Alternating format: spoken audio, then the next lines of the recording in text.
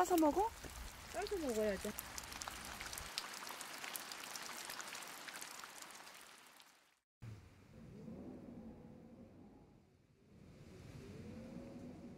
안녕하세요. 진화의 풍경입니다. 이번 영상은 모카의 싹을 틔우는 과정부터 모카 솜이 달리는 것까지 9개월 동안의 기록이랍니다. 끝까지 시청해주시고 구독과 좋아요로 응원해주세요. 모카씨는 솜에 둘러싸여 있고 씨앗을 솜에서 완전하게 분리하기는 힘이 드네요. 씨앗은 파달처럼 작고 그리고 아주 딱딱하답니다. 모카솜 한 송이에는 대략 15개 정도의 씨앗이 들어있어요. 분리해낸 씨앗은 키친타올에 싸서 물을 흠뻑 적셔주고요. 그런 다음 어, 지퍼백에 넣어서 어두운 천을 덮어서 보관할 거예요. 그럼 2주 뒤에 뵙겠습니다. 자, 이제 꺼내볼까요? 어떻게 됐을지 너무 궁금해요. 우와. 모카싹이 많이 컸네요. 2주 사이에 노랗게 싹이 틔워졌고요. 정말 어떻게 보면 콩나물하고도 비슷한 것 같습니다. 이제 흙에다가 옮겨 심어 보겠습니다. 아직까지는 바깥에 땅에 심기에는 좀 무리가 있을 것 같고요. 저는 이런 작업을 할 때는 재활용 플라스틱 용기를 많이 써요. 그러니까 두부를 다 먹고 난 통이라든지 아니면 김을 먹고 난 통이라든지 이런 것들을 버리지 않고 모아놨다 씁니다.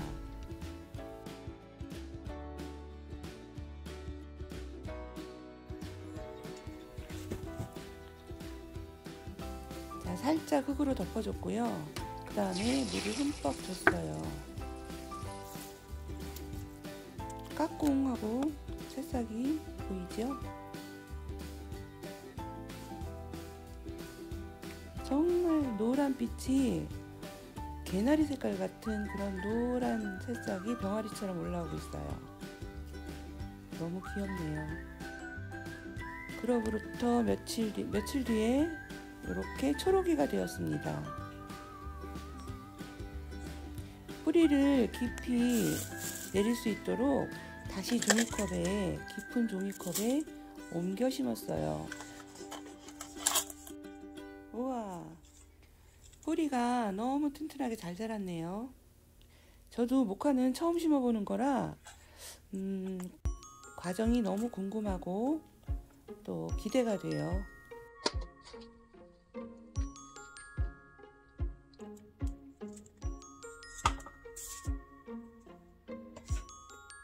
아침 저녁으로 물을 줬고요. 음, 아직까지는 실내에서 키우는 중이에요.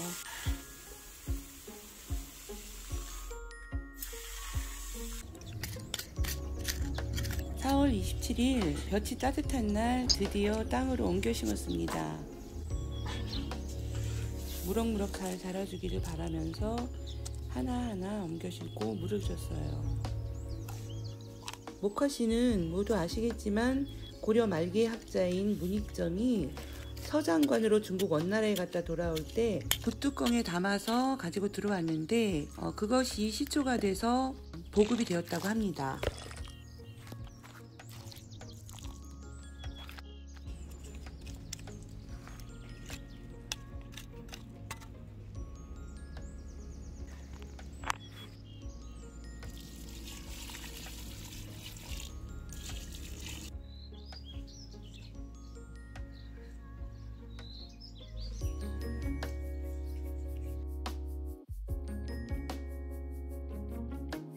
오늘이 7월 10일입니다. 모카 씨앗을 키우기 시작한 지 딱 5개월 되는 날입니다.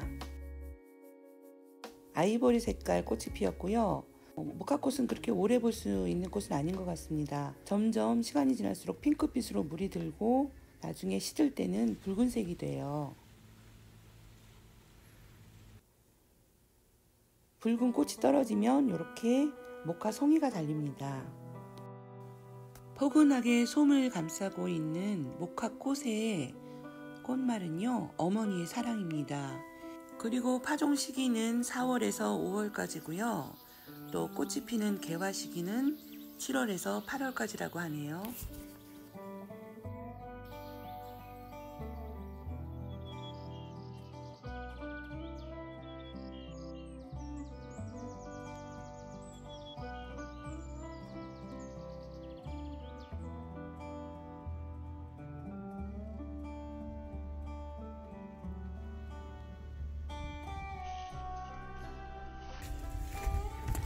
까서 먹어? 따서 먹어야지 하얀 거만. 이건 너무 어리다. 먹을 것도 없겠다.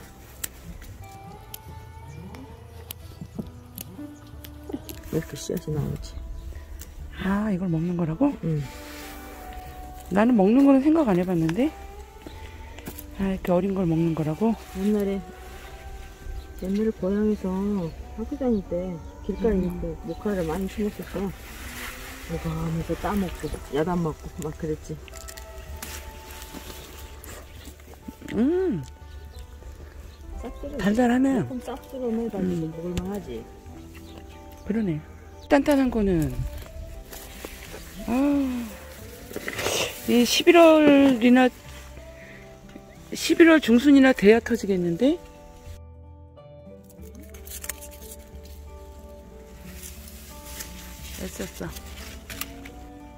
단단함을 벗어버리고 솜이 딱 올라왔을 때 느낌은 어, 너무 경이롭고 그리고 예뻤습니다.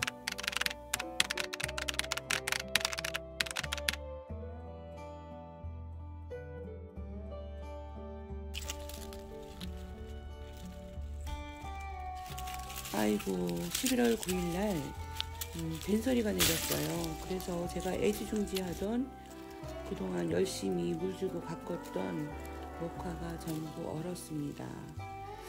목화솜이 활짝 펴서 어, 나무에 가득 매달려 있는 모습을 보여드리고 싶었는데요. 음, 서리가 빨리 오는 바람에 수확도 못 해보고 또 저렇게 얼었어요. 너무 속상했습니다. 정성껏 잘 가꾸고 또 목화솜을 수확해서 작은 소품 인형이라도 만들어 보려던 제 꿈은 일장 춘몽이 됐습니다. 그래도 뭐 괜찮아요. 좋은 경험을 했습니다. 늘 성공만 할 수는 없잖아요. 오늘도 끝까지 영상을 시청해주신 여러분 진심으로 감사드리고요. 구독과 좋아요 잊지 마세요. 저는 더 좋은 영상으로 다시 찾아오겠습니다. 감사합니다. 안녕.